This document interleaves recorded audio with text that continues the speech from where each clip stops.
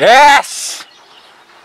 कश्मीर घाटी में शुरू से ही फुटबॉल एक जनून रहा है। इसको छोटे बड़े बुज़ुर्ग सभी फॉलो करते हैं। फुटबॉल खेलने के लिए बचपन से ही लोग उमड़ पड़ते हैं। इस खेल में आजकल फुटबॉल ट्रेकिंग का रिवाज चल रहा है जिसका मतलब खेलने वाले गेंद के साथ बारीकी से जादुई किक्स कर सकें। फुटबॉल ट्रेकिंग में कश्मीर में सबसे अहम नाम आजकल उजेब शाह का है। मैं कश्मीर के बडगाम डिस्ट्रिक्ट में रहता हूँ।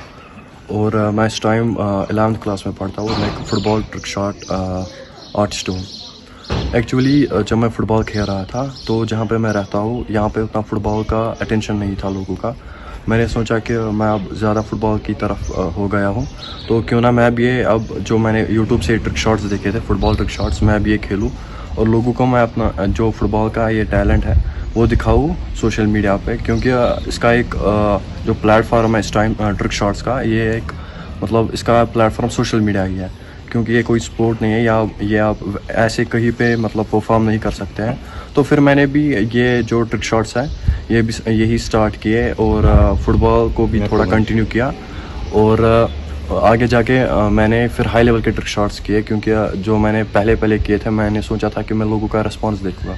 जब लोगों का अच्छा रिस्पॉन्स मिला मुझे बूस्ट मिला और मैंने आगे जाके फिर ये ट्रिक शॉट्स स्टार्ट किए।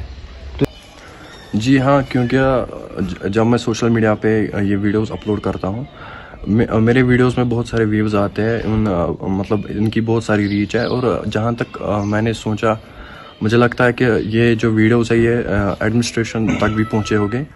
और मुझे लगता है जितना मुझे मतलब यकीन है इस पर कि मुझे आगे जाके इसमें कुछ फ्यूचर बन सकता है, क्योंकि सोशल मीडिया पे मतलब बहुत सारे लोग ऐसे जो स्टार बने हैं, और मैं चाहूँगा आगे जाके कि मुझे भी कुछ प्लेटफॉर्म लें सोशल मीडिया से बाहर, जहाँ पे मैं इंटर शॉर्ट्स को परफॉर्म कर सकूँगा, और और लोग अप्रिशिएट भी करेंगे।